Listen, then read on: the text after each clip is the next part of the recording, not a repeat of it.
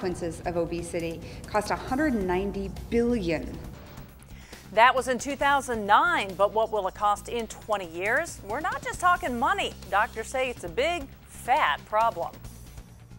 People in one rural county may have an easier time getting to the big city. And what's the latest on merging the offices of State Comptroller and State Treasurer?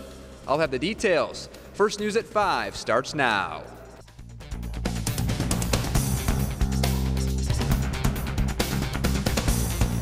It is a massive problem. New research out of Duke University shows 42% of Americans will be obese by the year 2030. Good evening, I'm Jerry Lambert. And I'm Marianne Manco. ABC News Channel 20's Kimberly Howard joins us live from the studio to break down the numbers. Kimberly? Jerry and Marianne, there's bad news and good news. Sort of. The good news, researchers say the once swelling obesity rate is slowing. Right now, just over a third of U.S. adults are obese. But doctors say that's nothing to jump up and down about. Research shows over time, obesity is still gaining on us, with the already obese getting even fatter, not to mention the weight of our children. I think as adults, we all have a responsibility for what happens with our children. It's a vicious cycle. Doctors say you don't need a PhD to sink your teeth into. It's not just a health issue.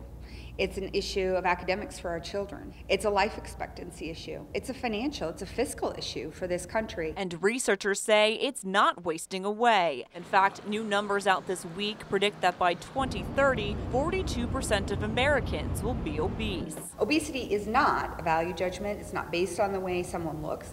What it is, is it's a body mass index of greater than or equal to 30. And if your BMI hits the big 3-0, doctors say you're at risk for a slew of medical problems problems. The most concerning of which are diabetes, type 2 diabetes, heart disease, cancer, stroke, etc. Doctors say the same goes for kids, although BMI in children is measured differently. But the tricks on how to stop your waistline from growing are the same. Doctors say not only do Americans eat too much, they're not eating enough real food. We're eating a lot of very heavily processed, heavily refined foods. Um, we call them food-like substances. They're really not foods, they're chemicals. And while some say staying in shape is harder for people with slow metabolisms, having a busy schedule and not enough money aren't excuses to pack on the pounds. Doctors say it's cheaper to buy fresh foods from the supermarket than to head to a drive-through, and many healthy meals can be prepared in minutes. So beating genetics and the clock without beating the bank is your choice. You can either slim down or get fat. Simple as that.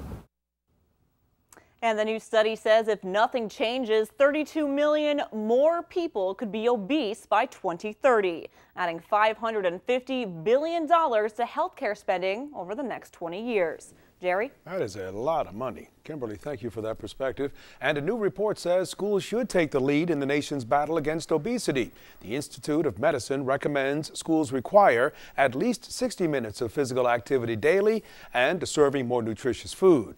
Now, this is because children spend up to half their waking hours at school where they consume many of their daily calories.